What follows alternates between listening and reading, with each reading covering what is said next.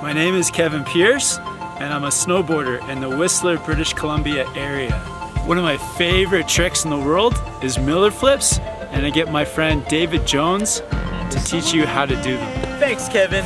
My name's David Jones. I'm a snowboarder from the Auckland, New Zealand Bay Area. And I'm gonna teach you how to do Miller flips. So a Miller flip is basically a very inverted backside 360. So if you've got backside 360s, you're gonna find this trick incredibly easy. You see most people do these tricks on knuckles. This right here, this is pretty much the knuckle of a jump. Mm.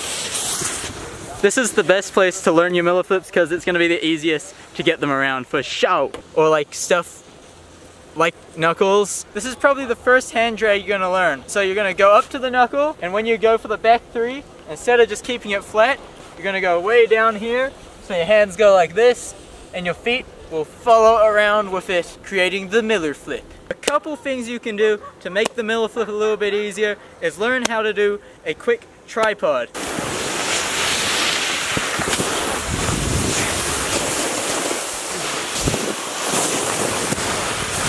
Really fast. That is pretty much when you put your hands on the ground. It's pretty much when you put your hands on the ground like this. But you're gonna learn to do that really quick so you flip your board. If you do that, you might even do a Miller flip flat.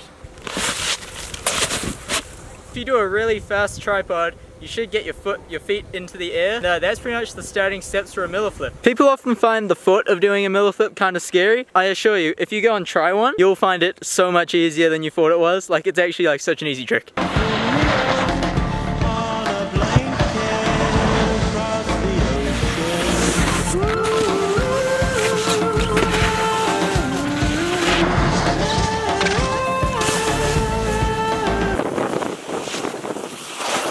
When you're gonna pop the flip, you don't wanna do it over here. Anywhere over here is far too late to do it. You're gonna wanna pop it way back over here. Cause that gives you time to like scrape your hands on the snow and then hopefully uh, go off of it. You wanna make sure you're going quick as well.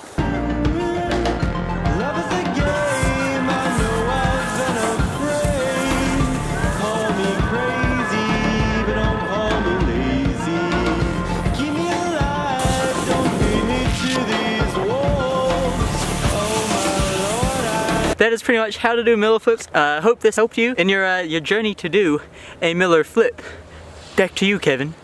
Again, this is one of my favorite tricks. And if you need more help, definitely, definitely, definitely check out Snowboarding Made Simple. It's the most comprehensive snowboarding DVD out there. Make sure to like, share, and leave any comments below.